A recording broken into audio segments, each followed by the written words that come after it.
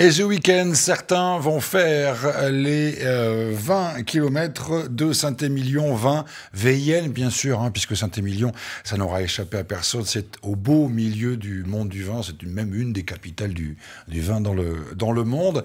Euh, Étienne Barbe, bonsoir. Bonsoir. Vous êtes président du Rotary Club Libourne de Saint-Émilion. Euh, quel rapport entre Saint-Émilion, le Rotary et une course euh, pédestre ce dimanche? Bien, dans le cadre de nos activités rotariennes, le Rotary, c'est servir d'abord. Euh, nous voulions, il y a quelques années, imaginer un événement euh, qui puisse euh, rassembler euh, à la fois notre région, hein, euh, club de Liban de Saint-Émilion, et répondre aux grandes thématiques du Rotary. la recherche sur les maladies du cerveau en est une, importante, et nous avons imaginé une course pédestre dans le vignoble de Saint-Émilion. Un petit peu, enfin, le, le parallèle est, est, tout, se fait tout de suite avec le marathon du Médoc Bien entendu. Là, c'est pas un marathon, c'est 20 km. Donc bon, voilà. Alors, Mais il y a 40 aussi, hein Oui, il y a 40 oui. depuis cette année. On ouvre oui. 40 km cette année. Euh, au départ, donc en 2016, première édition, euh, il y avait un 20 km et un 11 km. Et on étoffe effectivement cette année d'un 40 km et on ouvre notre 11 km aussi aux marcheurs. Voilà, donc voilà. 11 km pour la, pour la marche. Donc a priori, tout le monde va, devrait tout, trouver euh, chaussures à son pied. Ben, Logiquement. Si, si, on regarde le succès qu'on a au niveau des inscriptions, on oui. pense que oui. Parce Alors, que... oui. Alors inutile de vous dire, oh là, super, quelle bonne idée, je vais le faire, je vais y aller. Euh, 2300 inscriptions, pas une de plus, c'est terminé. Ah, c'est terminé, on est obligé de, de, de, clôturer les inscriptions. Euh, on est un peu victime de notre succès, mais tant mieux. C'est la cinquième édition cette année, hein, donc euh, dimanche prochain. Mais euh, les gens qui ne peuvent plus s'inscrire peuvent venir quand même encourager voilà. tout le monde sur les, ouais. les bords des, des, routes de Saint-Émilion, les allées. Alors qu'est-ce qui va se passer justement un petit peu, toujours ce parallèle avec le marathon du, du, Médoc. Les châteaux seront ouverts, pourront être traversés par les, par les coureurs. Il y aura des dégustations, des animations musicales, etc. C'est un peu le même principe? Oui, c'est un petit peu le même principe. On ne veut, pas copier, mais il faut toujours s'inspirer des bonnes choses. Euh, la, course traverse 33 ou 35 propriétés de Saint-Émilion euh, qui nous ouvrent leurs portes euh, entièrement. et effectivement, certaines propriétés en profitent pour faire des petits stands de dégustation, etc. Euh, euh, parfois à côté des ravitaillements officiels de la course. Euh, donc il y a effectivement sur l'ensemble le, du parcours quelques propriétés qui, organisent des dégustations de leur, de vin. Alors qu'est-ce qui fait courir tout le monde en, à Saint-Émilion C'est le don que vous allez faire ensuite pour la recherche oui. ou bien le côté un peu magique de, de, de Saint-Émilion? Alors je vais, je vais vous dire, quand en 2016 on a lancé cette, cette idée et ce projet, on a été assez étonné du succès qu'on a eu tout de suite, puisque de dès suite. la première année on a eu 1200 ou 1300 Saint-Émilion, c'est une sacrée marque aussi quand même à la base. Donc on a essayé de réfléchir à ce qui étaient les, les motivations. Les motivations. Je pense bon, beaucoup de gens aiment courir aujourd'hui, c'est évident, mais je pense que Saint-Émilion, euh, classé au patrimoine mondial de l'UNESCO, un, paysage absolument extraordinaire, et la, la, la possibilité d'aller courir à travers les propriétés, c'est-à-dire de voir Saint-Émilion d'une manière difficile, hein, de, de c'est pas évident de pouvoir comme ça rentrer dans les propriétés, tous les crus les plus prestigieux de, de l'appellation nous ouvrent leurs portes. Surtout que c'est vrai que c'est un, un, un, débat qui maintenant est un peu dépassé, mais les châteaux, les grands châteaux ont mis du temps hein, à ouvrir leurs grilles hein, quand même. Oui, enfin nous ils nous ont pas, ils nous ont pas. Non, non mais d'accord, mais, ce côté un petit peu visite oui. de grands crus, etc. Bon, c'est une dizaine, une quinzaine d'années parce que. Oui, c'est vrai, mais voilà. là, là, le, le, le, projet se fait vraiment euh, en coopération, à la fois avec la mairie de Saint-Émilion, à la fois avec le syndicat à la fois avec le Conseil des vins, bien entendu avec la préfecture. Enfin voilà, tout le monde, tout le monde a, participe grandement à ce projet depuis, depuis le départ, et, et les propriétés sont nos, nos, premiers partenaires, nous ouvrent leurs portes avec grand plaisir. C'est très sympathique. Courir, euh, c'est bien, d'abord pour la santé, dans un univers euh, comme Saint-Émilion, c'est beau, et, euh, et, en plus, bah, c'est pour une bonne cause, puisque c'est pour aider la recherche. Quel type de recherche et pourquoi celle-là? Alors, euh, la recherche sur les maladies du cerveau. Voilà. Alors, pourquoi celle-là? D'abord, donc comme vous l'avez signalé au départ, euh, c'est le Rotary Club de Libourne Saint-Émilion qui est l'organisateur de ce projet. Et euh, dans le cadre de nos activités rotariennes, on a différentes missions, projets de soutien. La polio, par exemple, ça fait partie des grandes thématiques du Rotary. Et la recherche sur les maladies du cerveau en est une prépondérante. Donc, quand on a imaginé ce projet, on a décidé de se rattacher tout simplement à cette grande thématique rotarienne, euh, en se servant en plus du fait qu'à à Bordeaux, on a un centre d'exception. Oui, d'expert, oui. voilà, Neurocampus. Bordeaux Neurocampus. Mhm. On a cette chance-là. Je pense que on n'imagine pas la qualité de ce centre à Bordeaux.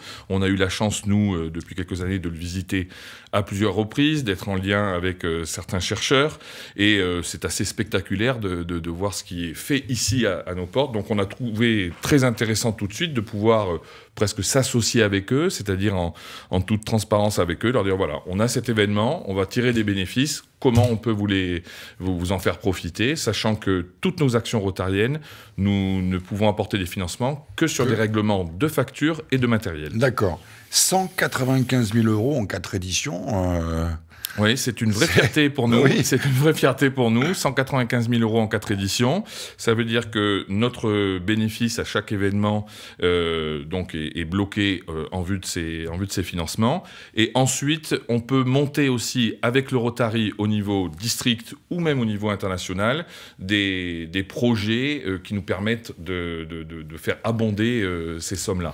Alors, ce qui est assez incroyable aussi, c'est le nombre de, on va, on va dire ça, people euh, Sportive People, c'est ouais. Oui, oh, oh, il y a Michael Yodra, il y a Henri Lecomte. Oui. Euh, donc voilà, c'est pas juste une, une course comme ça euh, à Saint-Émilion, ça attire du monde au-delà de ça. Oui, alors euh, première et deuxième édition, on a on a appris un petit peu notre notre métier entre guillemets d'organisateur et puis j'ai eu la chance de rencontrer Michael Laudra qui est bordelais aujourd'hui, installé dans notre région et qui s'est tout de suite pris fait et cause pour ce pour ce projet, qui est donc depuis trois ans notre parrain.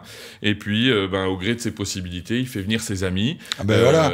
voilà. Quand, on a, quand on a Henri Lecomte euh, comme voilà, pote, donc cette aide. année, on a aussi Henri Lecomte qui, qui vient. Euh, L'an dernier, on a eu Marie-Josée Pérec. on a eu quelques escrimeurs. Enfin voilà, les, les, années se suivent. Certains peuvent venir, d'autres peuvent pas venir. Mais voilà, ça fait partie. Et ça, c'est le petit plus hein, quand même. C'est plutôt sympathique de voir ben, effectivement que le monde sportif viennent, comme ça peut se mobiliser. Ils ouais. viennent en pleine générosité, ouais. donner de leur temps, donner de leur image. voilà. Peut-être que cette année, Damien Trail aussi qui était là l'an dernier, va nous rejoindre aussi cette année. On attend encore sa réponse. C'est un vrai plaisir de les recevoir. Ils sont, absolument sympas et, et jouent le jeu à fond. Alors, donc, c'est euh, ce dimanche, on répète le programme. Euh, parcours aux marcheurs de 11 km, 3 courses pédestres, 11 km, 21 km. Et 40 km, c'est pas loin du marathon, ça, quand même. Hein c'est pas cool, hein Alors, c'est pas cool. Je peux vous dire que c'est. Moi, je devrais pas le dire. Peut-être c'est moi qui ai dessiné les, les, les, parcours. Le 40 km, je souhaite bon courage, mais bien évidemment. Oui, parce on... que Saint-Émilion, ça monte un peu quand ça même. Ça monte un peu. Ah ouais. enfin, ça monte un peu, mais c'est surtout euh, vallonné. Donc, ça monte, ça descend, ça monte, ça descend. C'est-à-dire que c'est une course qui est très, qui est très cassante pour les, pour les coureurs. C'est difficile. C'est difficile. Voilà, donc, si vous avez du mal à terminer ces 40 km, eh bien, n'hésitez pas. Je vous donne le numéro de portable d'Étienne Barre et vous voyez ça directement avec lui. En tout cas, donc c'est ce dimanche euh, 8 mars. Donc encore une fois, inutile d'essayer de, de, de, vous inscrire pour cette manifestation. Euh, c'est complet. L'objectif pour la sixième édition, c'est augmenter le niveau ou là, 2300, on est bien? Je pense que non, il va falloir qu'on réfléchisse effectivement à comment euh, augmenter notre capacité ouais. d'accueil parce que parce que visiblement de plus on prend on prend quand même un petit peu d'ampleur. On a de la demande là aujourd'hui. Si on n'arrêtait pas les inscriptions, je pense qu'on finirait autour de 2007-2008. Euh, mmh. Donc euh, donc il va falloir effectivement qu'on s'adapte, mais ça veut dire que nos assurances doivent s'adapter, nos, nos, nos, services de secours doivent s'adapter, etc. Oui, donc, donc ça fera partie bien évidemment de notre réflexion sur pour la pour la sixième édition. Est-ce que c'est le début d'un commencement d'une réflexion sur un éventuel, vous avez vu, je prends la précaution, hein, euh, d'un éventuel euh, marathon de Saint-Émilion? Non, je crois qu'il faut qu'on garde notre identité. Euh, encore une fois, c'est le Rotary Club de Libourne Saint-Émilion, l'organisateur. C'est une course à dimension caritative, on y tient absolument. Et il faut qu'elle garde sa, sa dimension humaine, généreuse, à l'image de Saint-Émilion. Dernière question, Étienne Barre. Euh, tout le monde ne parle que de ça. Vous êtes sûr que cette euh, manifestation va pouvoir se dérouler normalement euh, Coronavirus oblige pour l'instant? Bien sûr. Aujourd'hui, avec les éléments que nous avons, aucune, aucune raison d'annuler d'annuler la manifestation. C'est 2300 coureurs. Donc on n'est pas dans le cadre de ce que pas, C'est pas fermé non plus, hein, parce qu'à priori Saint-Émilion, je sais pas uniquement, uniquement en extérieur, effectivement. Voilà. Donc aujourd'hui, on n'a aucune indication de la préfecture comme quoi la manifestation devrait être reportée. Merci voilà. beaucoup. Avec plaisir, merci Tout de, de votre suite, accueil. Euh, le sport euh, amateur, encore une fois, s'est déchaîné durant le week-end. La preuve en images.